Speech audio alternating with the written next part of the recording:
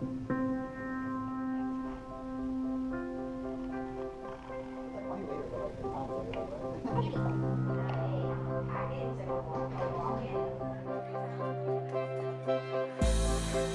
today we had a wonderful day here at Nova Southern University. We are so blessed to be here. The, all the staff were amazing.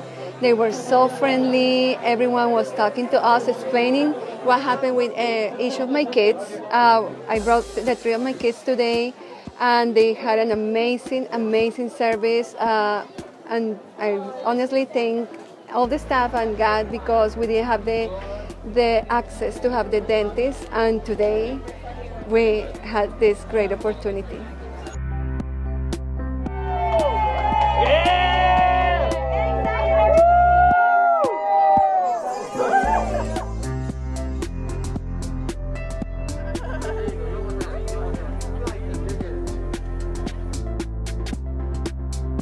Well, I think it's an awesome thing to do because you know it's some kids that really can't afford to go to the dentist that it helps out the parents.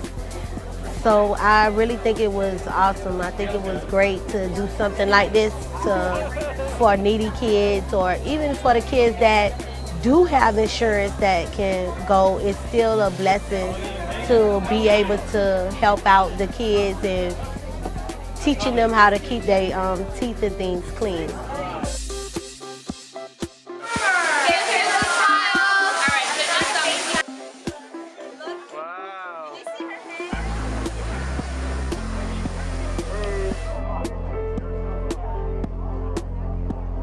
Why did you come in today?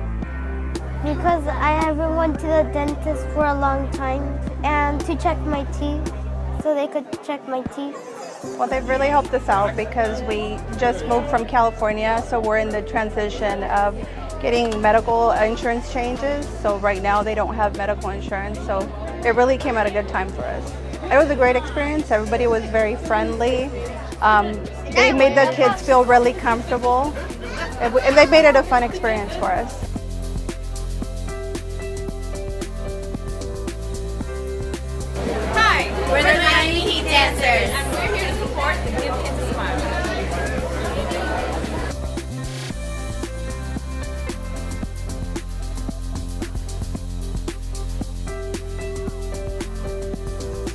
Well, it's blessed our family is for the fact that um, so far I haven't been able to put her on my insurance, so she hasn't seen the dentist yet. So this is her first time seeing the dentist, and um, I didn't know at the time that you know they actually told us that her gums were bleeding from the plaque, so we needed to start brushing.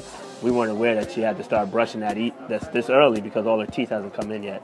So now you know we got that information and we got a toothbrush. This is gonna be our first toothbrush and toothpaste.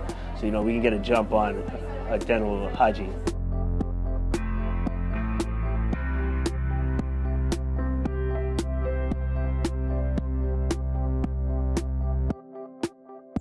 They were um, at the Boys and Girls Club where my children go every day after school, and they needed the services.